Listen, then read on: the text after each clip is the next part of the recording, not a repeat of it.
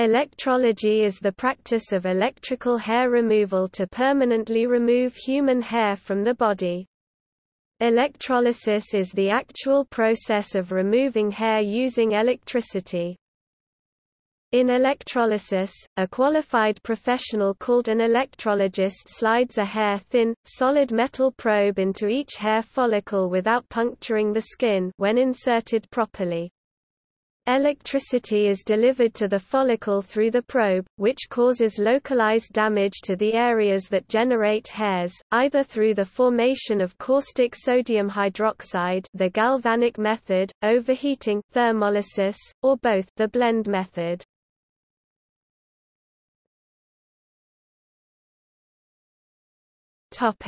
Modalities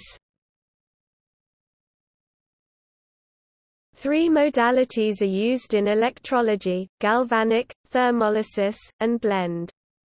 All three methods have their own merits, and one method is not better than another. The success depends on the skill of the electrologist, the type of hair being removed, the condition of the skin and the pain threshold of the client.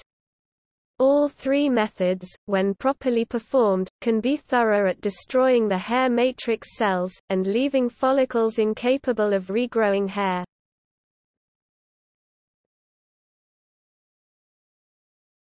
Topic: Galvanic method This modality is named after Luigi Galvani and uses a person's body as an electrolytic cell. Galvanic electrolysis was first reported in medical literature in 1875 by ophthalmologist Charles Michel as a method for removing ingrown eyelashes. A galvanic hair remover is essentially a positive ground power supply that delivers 0 to 3 mA through the body. The follicular probe is the cathode of an electrolytic cell. Sodium hydroxide formed at the cathode by the process of chemical electrolysis kills the hair matrix cells. Modern galvanic hair removers automatically adjust the voltage to maintain constant current.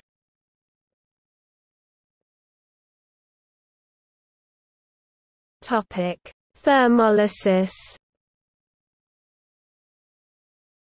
Another method is known as thermolysis, also called radiofrequency RF, shortwave or diathermy.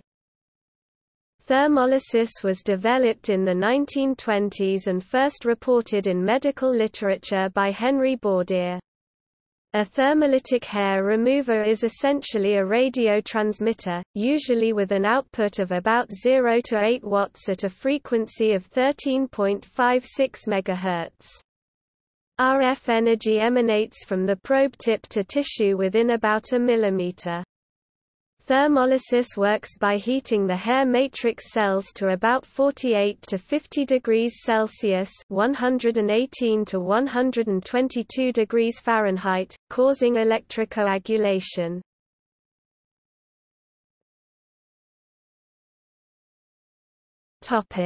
Blend method.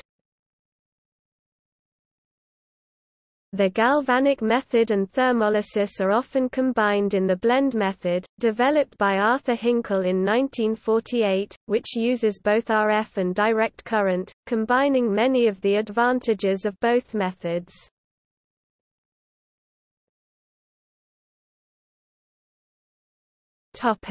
Technique The practitioner selects a metal probe that slides easily into the hair follicle, usually the same diameter as the hair shaft or smaller.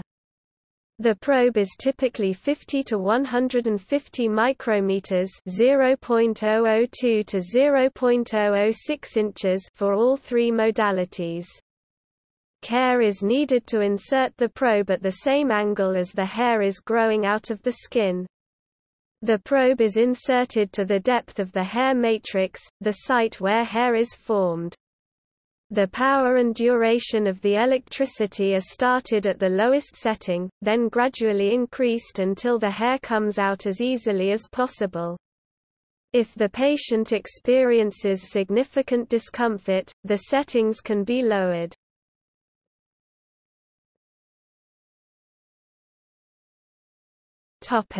Treatment duration.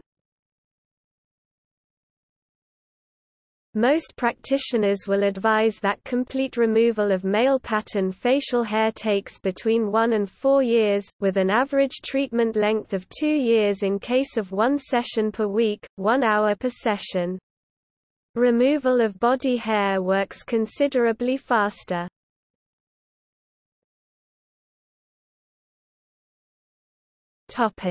Status of profession In the United States, electrolysis is regulated in many states, requiring training and licensing. Electrolysis as a profession faced new competition in the 1990s after laser hair removal was developed and promoted as a quicker and easier way to remove hair.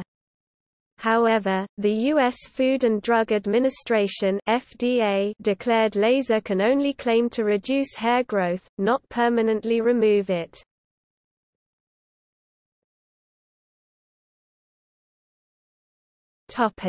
See also